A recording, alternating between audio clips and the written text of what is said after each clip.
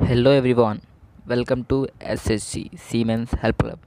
And today's video is about how to update modular courses in your Seafarer profile which has been done before August 2019 and the courses which have done after 2019 will be automatically updated by the institute to the DG shipping. And the courses which has been done before August 2015 we have to do it manually. And this question is asked by Himanshu Bondal hope this video will help him and others too. And the same thing if anyone is having any doubts on any topic just comment us. We'll definitely try to make a video on that. And without wasting a time let's move on. First just go to your open any browser like firefox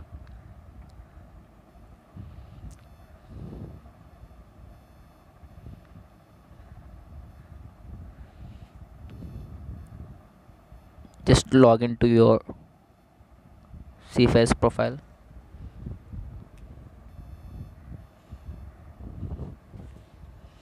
And in this the third option on the seafarers there is the third option update seafarers profile. Click on it. After clicking on it the page will be opened. On the top there are several things like seafarers details education details professional training details we should go to the professional training details. Click on the professional details training details. On that there will be like pre-sea training details modular courses sea going services post-sea training details and onboard training details. Now we have to open the modular courses. It will be open like this. Then here the things will be there like course details. The course name STCW course and training institute that uh, which the institute which you have been trained and attended from date and attended to date and certificate number and date of issue and valid up to date.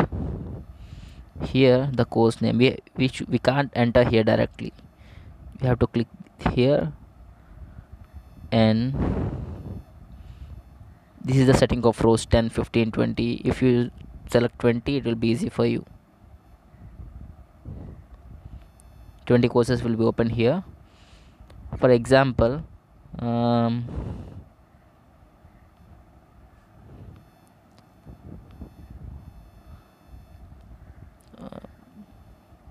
just think like uh, tanker LNG tanker cargo and ballast handling simulator course I have done. So I'm clearing uh, clicking on this I'm selecting this. For selecting this you have to click the opposite blank here yeah. See it will come like this. And as the training institute here click on it. Mm, same thing.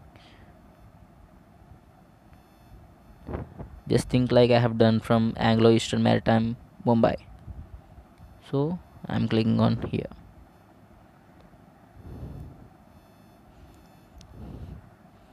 and the certificate number will be available on certificate. We have to enter like this something. And the attended from date and attended to date and date of issue and valid up to up to date everything will be available on your certificate. Just see in that and copy here. And after completion of it just add here. The, there, there is an option here in the down. Just add it. And if you're having any doubt just you can comment here. You can write your comment and mmd will be reply you here mmd's comment. Hope this video will help him. Thank you